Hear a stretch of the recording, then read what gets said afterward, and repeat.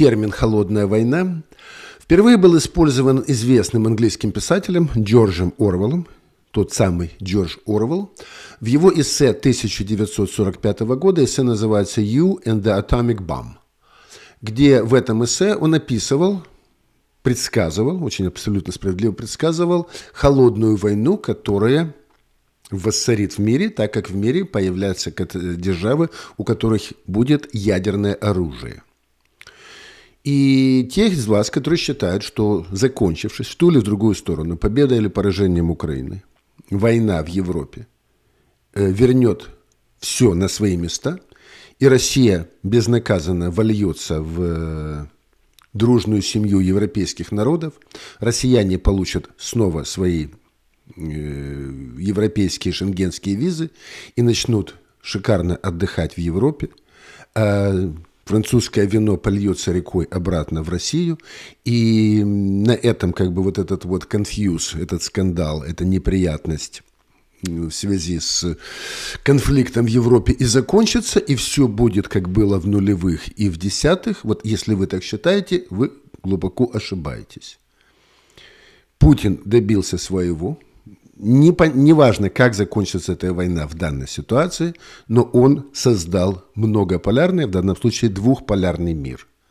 С одной стороны этого полюса стареющий, очень слабый западный мир, который пытается сделать все возможное, чтобы не заметить создание другого полюса, и вновь создавшийся полюс, на котором находится, перечисляем по пальцам, фашистующая путинская Россия – Э, коммунистический социалистический Китай, коммунистическая Северная Корея и исламистующая фашистская Иран. Ну и там по мелочам в Африке в Латинской Америке страны, которые их поддерживают. Так называемый глобальный юг.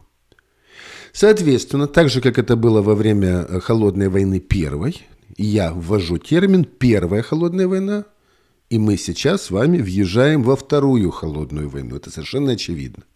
Так вот, э, ключевыми моментами как и Первой, так и Второй мировой войны будут являться наличие двух полярных лагерей. Мы их только что определили. Увеличение военного производства в каждом из лагерей. Этот процесс начался, и его уже не остановишь. Эту пасту обратно в тюбик не воткнешь. Увеличение ядерного производства и ядерная эскалация и ядерный шантаж. Этот процесс уже начался.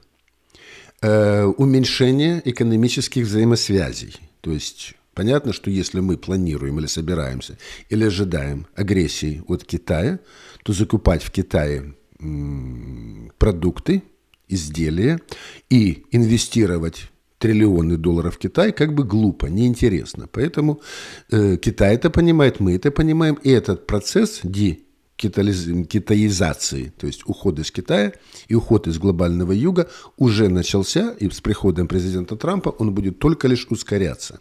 Соответственно, Запад все меньше и меньше зависит от глобального юга, глобальный юг все меньше и меньше зависит от глобального Запада. Страны готовятся к конфронтации.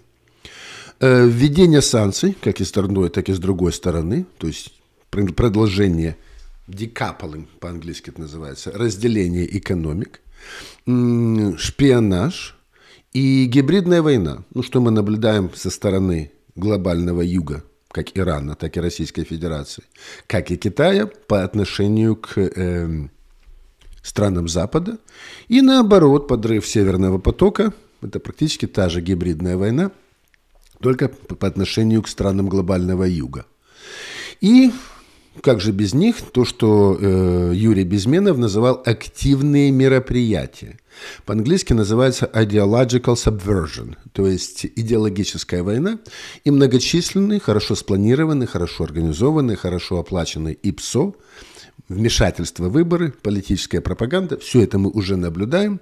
А как следствие всего этого, ограниченная миграция, ограниченное перемещение лиц из одного лагеря в другой, установление границ, отказ от э, нелегальных иммигрантов, все, что мы сейчас наблюдаем. Мир снова возвращается, и я формулирую этот термин, в холодную войну 2.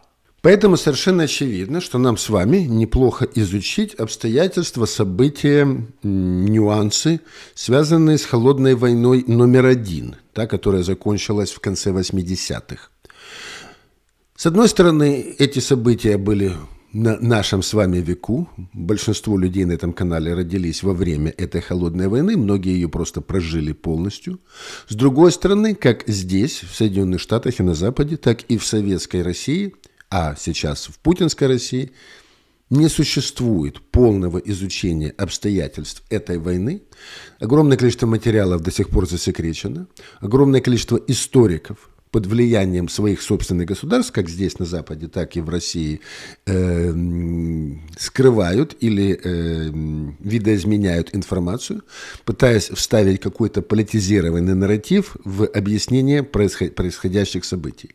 То есть взять какой-то разработанный труд, показывающий проистечение огромного, огромного пласта событий, э, практически невозможно. Так же, как ни странно, это невозможно сделать по отношению к Второй мировой войне. То есть документов, материалов очень много, а реальной картины практически ни у кого нет, кроме э, Марка Семеновича Солонина, который пытается воссоздать реальную картину произошедших событий на своем канале.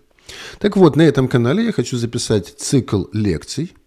Я думаю, это будет где-то от 15 до 20 лекций, в которые я посвящу событиям Второй простите, Первой холодной войны.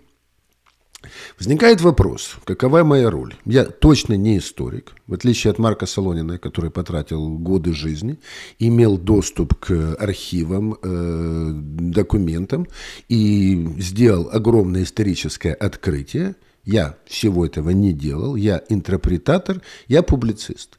То есть я нахожу известные, уже опубликованные материалы и постараюсь, стараюсь их выстроить в какую-то логическую цепочку.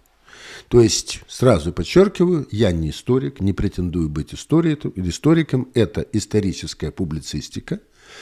И дальше вопрос, который я перед собой ставлю, на каком уровне детализации я хочу вам рассказывать о событиях Первой э, холодной войны.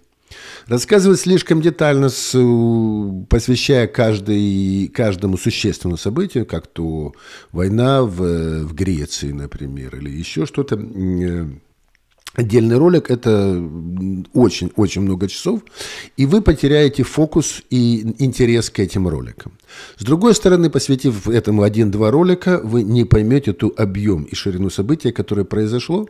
Поэтому наш, наш формат – это около часовая лекция, постараюсь сделать 45-50 минут лекции, э, которая пролетает на, то есть информация на уровне не совсем высоко в стратосфере, но точно не в лесу, а где-то слегка над лесом, с определенным уровнем детализации.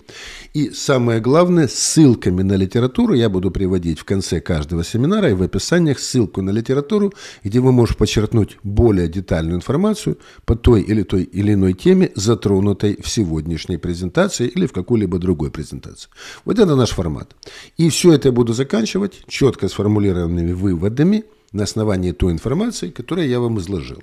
Если у вас нет времени слушать все эти семинары, будут стоять там коды, пролистаете на выводы, посмотрите выводы, ну, а выводы подкрепляются той информацией, которую я излагаю вам в течение каждой из этих лекций.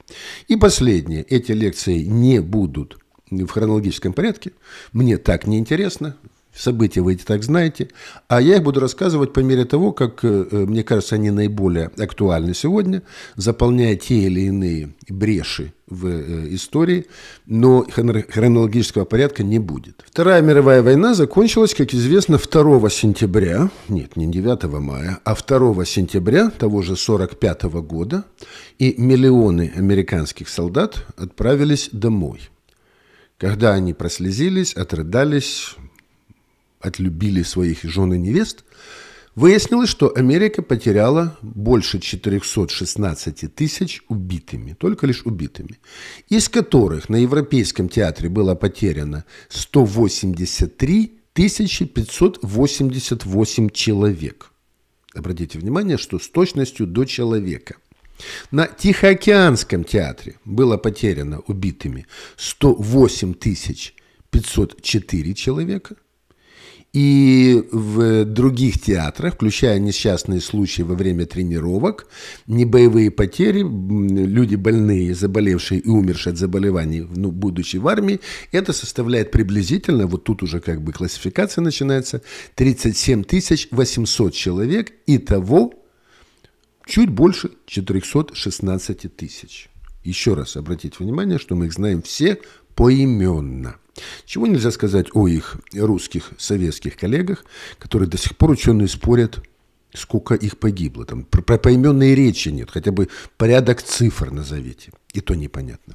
Так вот, эти люди, особенно те, которые погибли или воевали, или были ранены на Европейском театре, так же, как и на Тихоокеанском театре военных действий, были глубоко убеждены, что они воевали за одну понятную им идею – установить справедливый мир, свободу и демократию во всем мире. Они спасали мир от э, фашистской тоталитарной угрозы.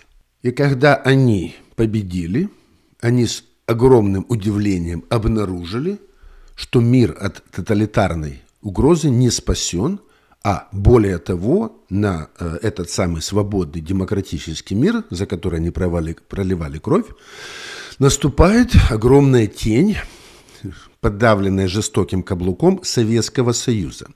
И вот тогда впервые американцы задали себе вопрос, а вообще что происходит? о какой победе добра над злом, о какой победе демократии свободы над тоталитаризмом идет речь, если происходит вот это.